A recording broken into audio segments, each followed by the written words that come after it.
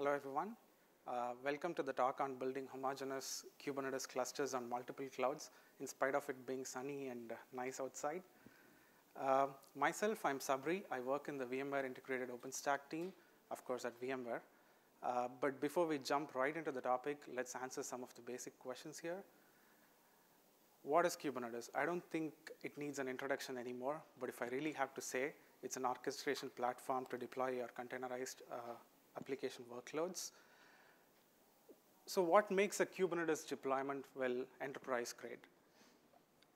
Well, the answer is a bit subjective, but in our opinion, it needs to be highly available. Uh, basically, you build it with multiple master nodes, you put a load balancer on top of it, uh, you cluster the etcd data stores, you have scalable worker nodes, uh, it needs to be upgradable, and few other things. Uh, uh, last but not least, it needs to be battle tested and like combat ready, right? So now, where do you actually deploy an enterprise-grade Kubernetes cluster? There are tons of options out there.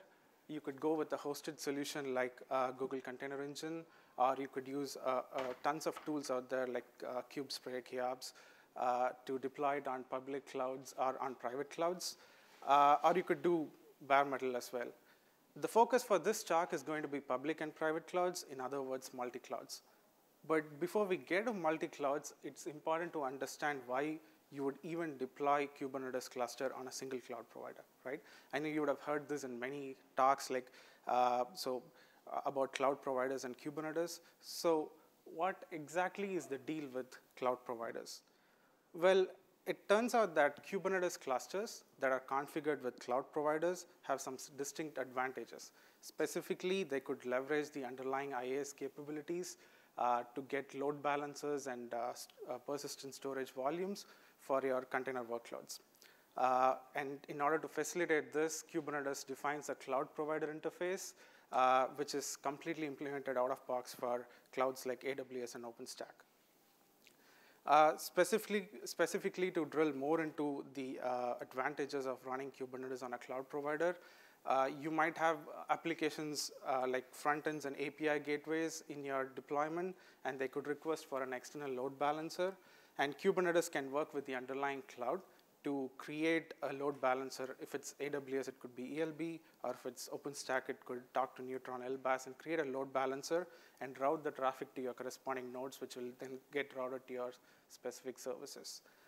Um, similarly, if you have stateful applications as part of your uh, deployment, you, uh, they could basically request persistent storage. Uh, in the case of OpenStack, that would be Cinder volumes, and in AWS, it could be the EBS volumes. So the cluster admins, uh, these volumes are actually dynamically created, so the cluster admin does not need to pre-create these persistent volumes in the cluster. So we looked at like why uh, the advantages of deploying Kubernetes on a cloud provider, but why would you want to do multi-cloud, right?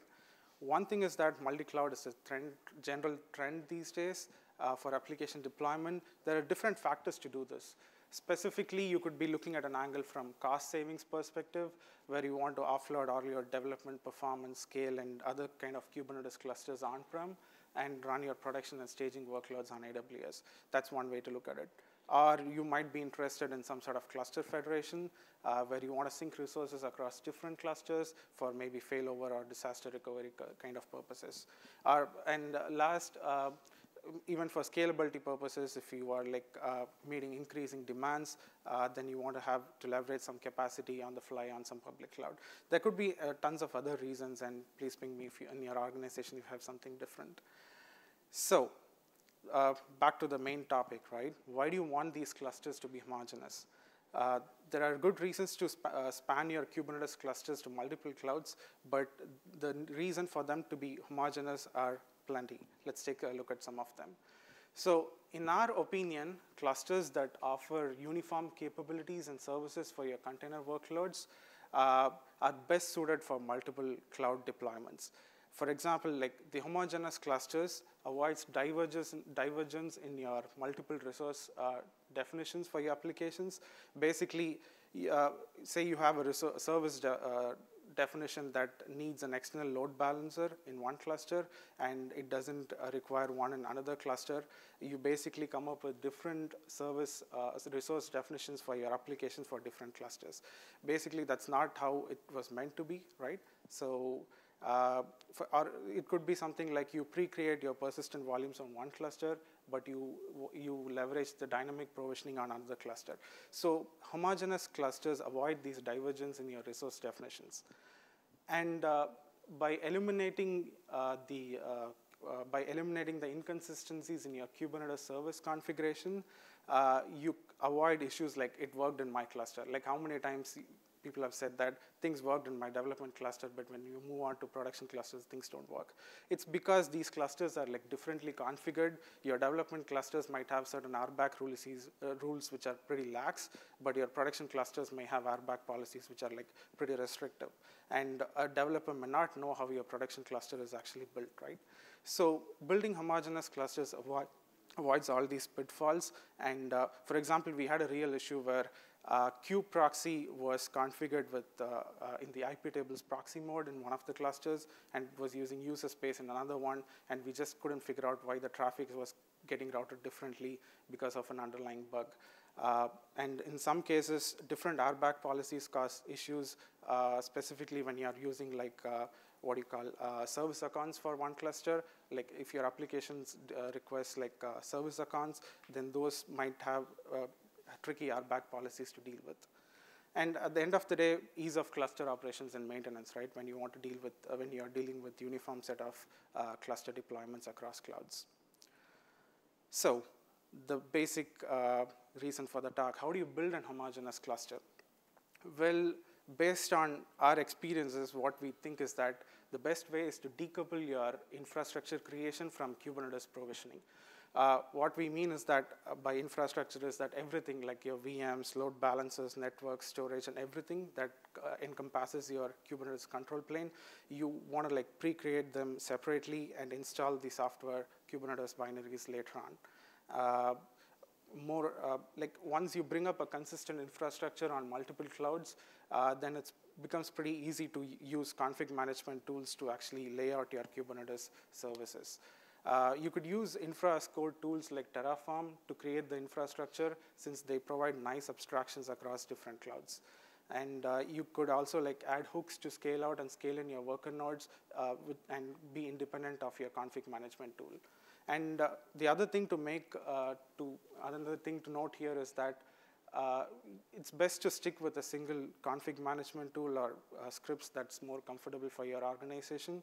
Because if you use different tools to lay out different clusters, then you are looking at different configurations because each of these tools come up with different defaults and that may not play well with your, uh, uh with your workloads. And make sure to configure the same add-ons, monitoring, and logging solutions, uh, then it's like pretty consistent and you could easily debug them uh, it gets, just gives you a better operational insight. And if you really want to take it to the next level, like we do uh, in our company, you could do a lot more with user management.